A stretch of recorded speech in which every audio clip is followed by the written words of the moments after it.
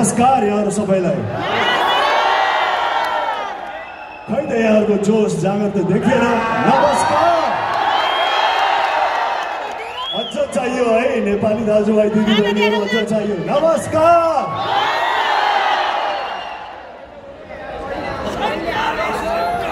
होइन खाना साना दिए भने बोल पनि आउँदो उड्दै खाने एक हप्ता पहिले लाग्यो उड्दा कुर्दै यहाँ सास फुस्किसक्यो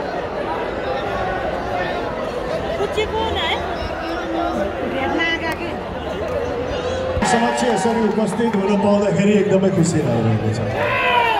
हृदयदेखि नै खुसी लागिरहेको छ। हुन त दुबई यो मेरो पहिलो भ्रमण होइन।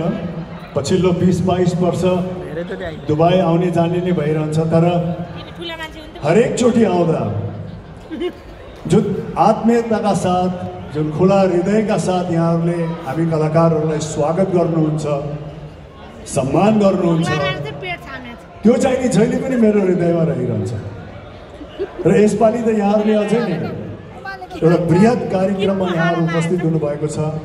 हामी सबै कलाकारहरूलाई यहाँहरूले खुला हृदयका साथ स्वागत गर्नुभएको छ। हाम्रो यहाँ बसाइ आम नेपाली दाजुभाइ दिदीबहिनीहरू जोसँग हामी भेट्छौँ। उहाँहरू सबैजना हाम्रो बसाइलाई कसरी अझ आनन्दित बनाउने कसरी रमाइलो बनाउने भन्नेमै लागिरहनुहुन्छ। हरेक दिदीबहिनी जस्तो हामी होटेलमा बस्छौँ होटेलमा बस्दाखेरि तपाईँको हाउस किपिङबाट लिएर सेफबाट लिएर म्यानेजरबाट लिएर सबैको चासो के हुन्छ भने उहाँहरूको बसाइलाई कसरी रमाइलो गरिदिने उहाँहरूको बसाइलाई कसरी आनन्दित गराइदिने भन्ने नै रहन्छ। त्यसैले यो मञ्चबाट यहाँहरू सबैलाई जहाँ जहाँ हामी तपाईँहरूलाई भेट्छौँ चाहे त्यो होटेलमा होस् चाहे त्यो रेस्टुरेन्टमा होस् चाहे त्यो एयरपोर्टमा होस् चाहे त्यो बाटो हिँड्दाखेरि किन नहोस्? ठाउँमा जहाँ तपाईँहरूलाई हामी भेट्छौँ कहिले कहिले समयको अभावले यहाँहरूसँग त्यति समय बिताउन पाउँदैनौँ तर यही मञ्चबाट यहाँहरू सबैलाई त्यो स्नेहको लागि त्यो मायाको लागि त्यो चासोको लागि यहाँहरू सबैलाई धेरै धेरै धेरै धेरै धन्यवाद। थ्याङ्क यू धेरै धन्यवाद। हामी कलाकारहरू अब विभिन्न ठाउँमा जान्छौँ होइन आफ्नै राष्ट्रमा पनि पूर्वदेखि पश्चिमसम्म हिमालदेखि तराईसम्म र अहिले त पछिल्लो बिस पच्चिस वर्ष यता नेपाली दाजुभाइ दिदीबहिनीहरू संसारभरि छरिनु भएको छ। विभिन्न राष्ट्रमा हुनुहुन्छ। त्यतातिर पनि हामी जान्छौँ। तर जहाँ गए तापनि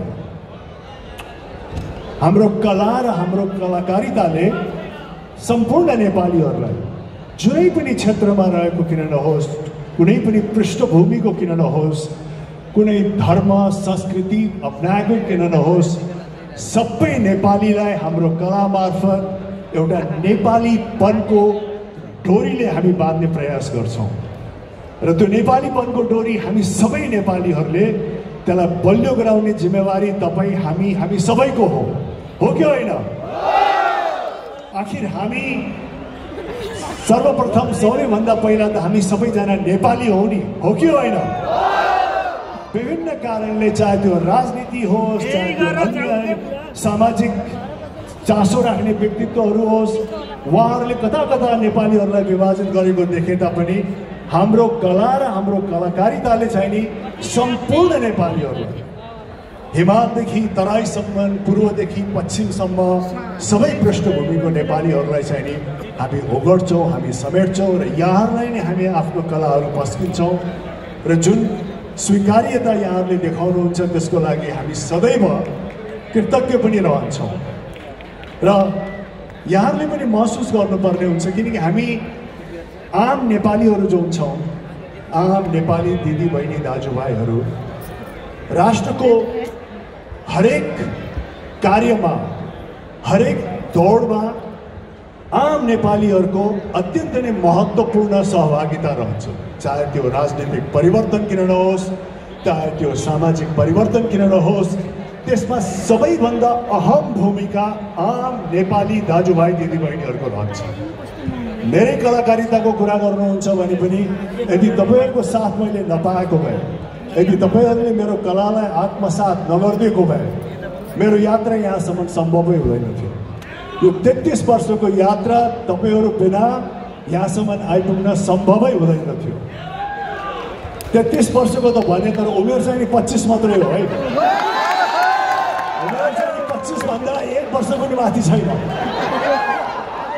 अब अहिले हाम्रो राष्ट्रमा विभिन्न किसिमको राजनीतिक उथल पुथल भइरहेको छ चुनाव पनि आइरहेको छ। अब हामी आम नेपालीले के महसुस गर्नु पर्यो भने सही रूपमा अब हामीलाई आफ्नो हक र अधिकार चाहियो।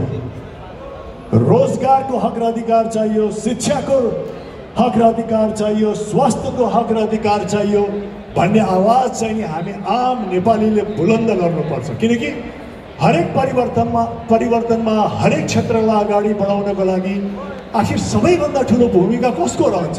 तपाईँ हामीको रहन्छ। हो कि होइन? तर जहिले पनि आफ्नो हक प्राप्त गर्नको लागि त फेरि हामी पछाडि परिरहेका छौँ। हाम्रो हकलाई त एक हिसाबले प्रयोग गरेर एकदमै युज एन्ड थ्रो जस्तो भइरहेको छ। त्यसैले हामी आम नेपालीहरू तपाईँ हामी सबैले के महसुस गर्नु पर्यो भने हाम्रो भूमिका सबैभन्दा उच्च छ। सर्वप्रथम भूमिका हाम्रै हो त्यसकारण हाम्रो जिम्मेवारी रहन्छ कि हामीले बुलन्द आवाज गरेर आफ्नो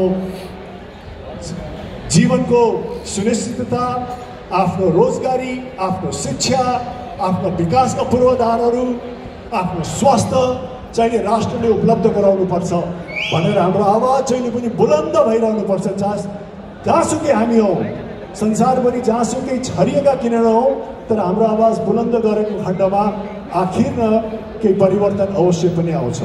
त्यस कारण मेरो अनुरोध त्यही नै छ। अहिले चुनाव पनि आउँदैछ। अहिले नेपाली जनसमुदायहरू पहिलाको जस्तो एकदम अचेत पनि हुनुहुन्न। अझ भन्ने हो भने हाम्रो राष्ट्रमा त मलाई लाग्छ कि नेपाली जनसमुदायहरू राजनीतिबाट धेरै नै सुझबुझ राख्ने समुदायहरू हुनुहुन्छ त्यसैले पनि आफ्नो सहभागिता एकदम बुलन्दका साथ राख्नु पर्यो। खालि सोसियल मिडियामा मात्रै नभएर सक्रिय हिसाबमा राख्नु पर्यो। तब मात्रै परिवर्तन आउँछ। तब मात्रै हामीलाई सबैले गम्भीरतापूर्वक लिनुहुन्छ। नत्र त कार्य गर्ने काम गर्ने हामी नेपालीहरू र खाने चाहिँ खालि सीमित व्यक्तिहरू मात्रै भइरहन्छ। र त्यसको चाहिँ हकदार आफूहरूले हामीहरूले चाहिँ खोज्नु पर्ने हुन्छ। म यहाँहरूलाई यही नै अनुरोध गर्न चाहन्छु। हुन त म कलाकार हो राजनीतिक कुरा त्यति मैले गर्न चाहेको थिइनँ तर के गर्ने? जुन राष्ट्रको तपाईँको राजनीति चाहिँ नि सही रूपमा गइरहेको हुँदैन त्यो बेलामा चाहिँ नि के हुँदो रहेछ भने हरेक व्यक्तिको चासोको विषय राजनीति हुँदो रहेछ। किनकि जबसम्म राजनीति तपाईँको सुचारू रूपमा चल्दैन तबसम्म कुनै पनि क्षेत्र सुचारू रूपमा चल्न सक्दैन। न मेरो क्षेत्र सुचारू रूपमा चल्न सक्छ न तपाईँहरूको बसोबास जुन यहाँ भइरहेको छ प्रदेशमा त्यो चाहिँ नि चाहिँ नि सुविधाजनक हिसाबबाट चाहिँ नि अगाडि बढ्न सक्छ। जुन किसिमको सुविधा यहाँहरूले आफ्नो सरकारबाट आफ्नो राष्ट्रबाट पाउने हो। न त्यो तपाईँहरूले पाउन सक्नुहुन्छ। त्यसैले राजनीति कतातिर गइरहेको छ कुन दिशातिर गइरहेको छ भन्ने चासोको विषय हामी सबैको रहन आएको छ।